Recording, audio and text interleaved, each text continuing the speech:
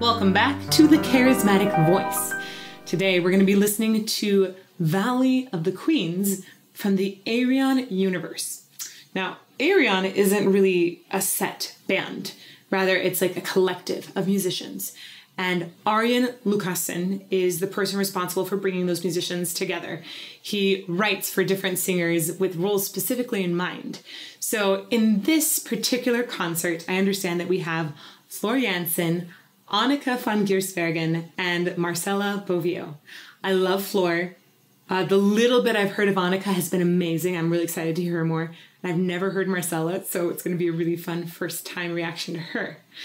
I also understand that all of Ayreon's albums are rock operas, so I'm going to be taking a look at the storytelling aspect in particular. Now, big shout out to Roberto from Patreon. He gave me a ton of background information on this that really helped set me up today to record this for you. So, thank you so much, Roberto. Let's get to it.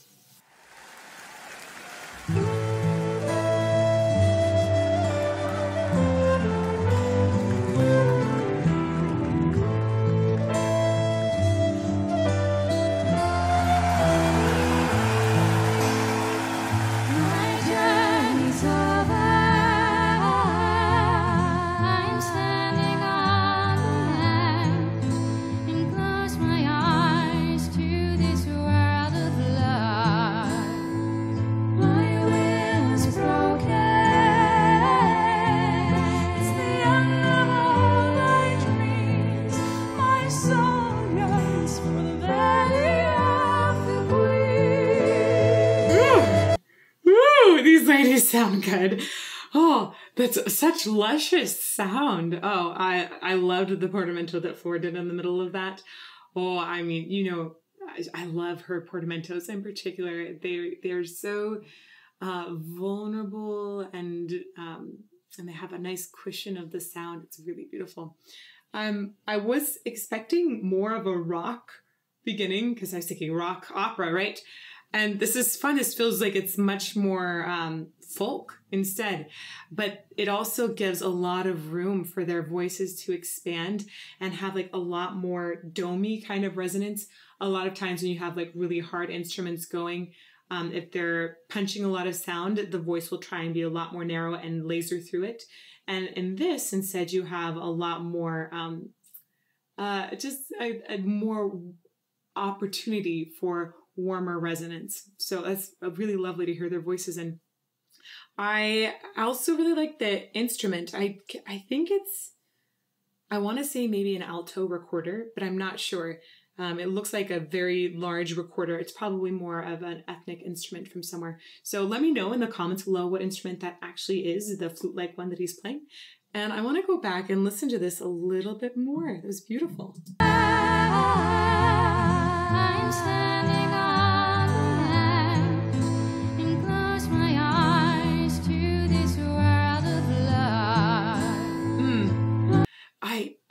Anneke's voice has got so much forward resonance and ping to it.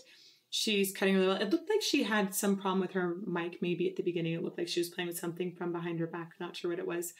Listen to the way she goes down to this lowest note.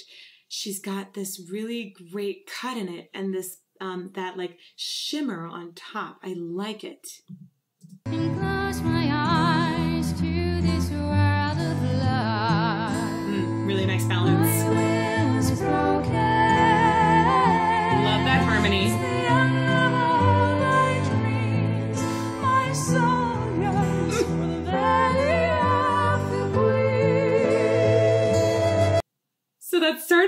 With uh, with Marcela on the bottom harmony, and then she went up above Floor.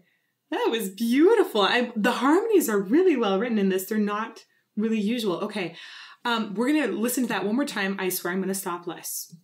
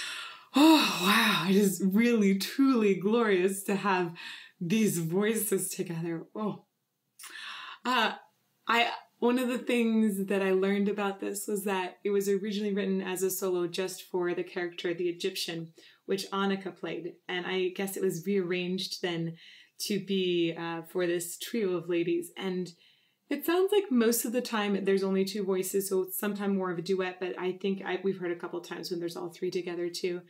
Um, I I'm really interested by how well Anneke manages to continue cutting with her voice while still having this dome above that makes it have that smooth, shimmery sound. Loving that.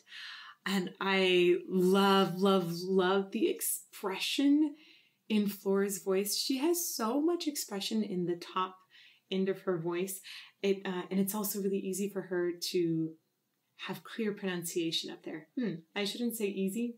Clear pronunciation on high notes is not easy. I would rather say she's very skilled at that. So it doesn't sound difficult, but I'm guessing she put a lot of work into it. And Marcela's voice sounds really pure, but I think she can do way, way, way more with it. Okay, gonna keep going now.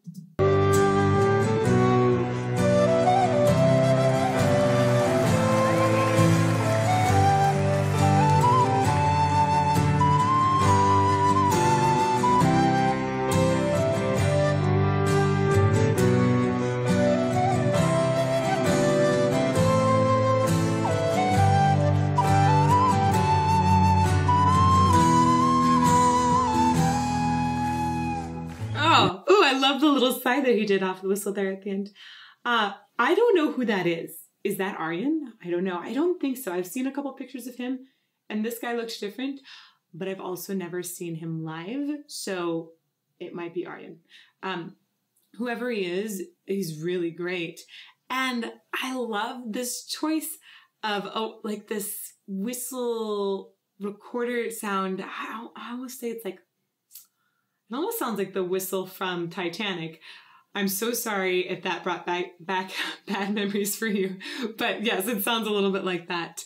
Um, I think it really gives this a flavor, uh, like a timeless flavor, with the idea of an Egyptian. You have these kind of parallel harmonies that are little.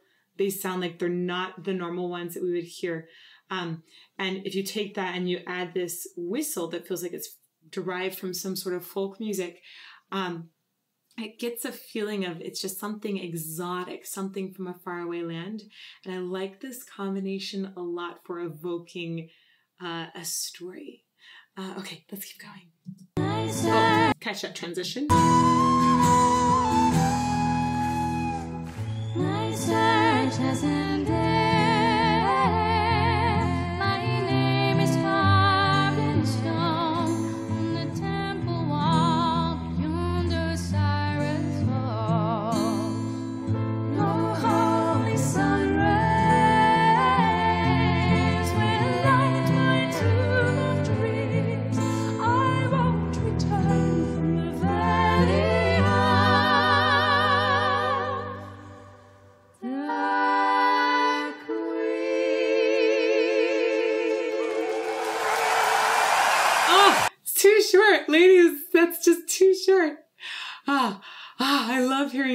Of their voices there at the end. Um, you know, one of the things, one of the reasons we know it's live and it hasn't been dubbed or something, there's always people out there that think, oh, well, it must have been dubbed. It's too good to be real. But they do come in at slightly different times here at the end uh, when they are no longer on like a steady tempo. Um, they are supposed to have like a retardando, so they're supposed to slow down and then just basically look at each other for when to come in on the word the, I think.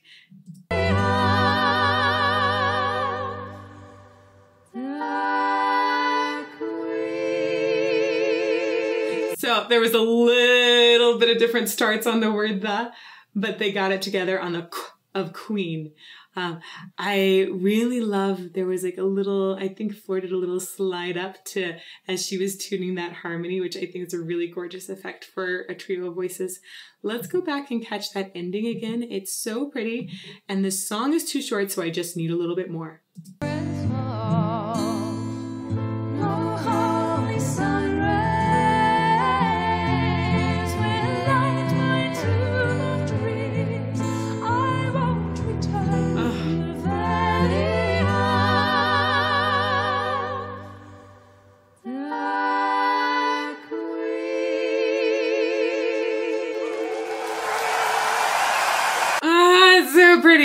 It's so pretty. Also, I love that you have brunette, blonde, and redhead. What a beautiful visual of these three ladies as well. Just what a beautiful, beautiful song. Really, truly written for luscious voices together. I think that Ayreon did an amazing job of writing for the three of them.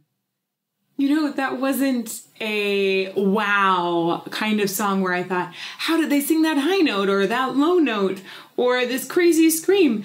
Instead, it was just really, truly beautiful and simple in its beauty. Uh, even some of the harmonies had like a little almost archaic motion to them, which was really, just really gorgeous to hear these voices sing it together. So it was thoroughly, thoroughly enjoyable. And I'd really like to hear more Ayreon, especially because I understand it's supposed to be like rock sometimes, and this didn't sound like rock at all. So I'm kind of curious where this whole rock opera might go, where it might develop to. So sound off in the comments below. Let me know if there's any other Ayreon you would like to hear. And also let me know what other artists you'd like to hear as well. I do keep track of those comments and I do do reaction videos to the ones that are the most requested. So please keep those coming and vote for the ones that you want the most too. Also, please, if you don't want to miss out on live premieres, subscribe, turn the bell on for notifications. I'm here Mondays, Tuesdays, and Fridays at 8 a.m. And I also have a Patreon where I do twice weekly live video chats. All that brings us to one of the best things I like to talk about these days I have a huge party coming up. It is free to attend. It's on Friday, October 2nd. We're celebrating 100,000 subscribers. You should come and join me. We're going to have giveaways. We're going to be drinking mimosas. It's just going to be a great time. So I hope to see you there and maybe also somewhere else soon. Thanks.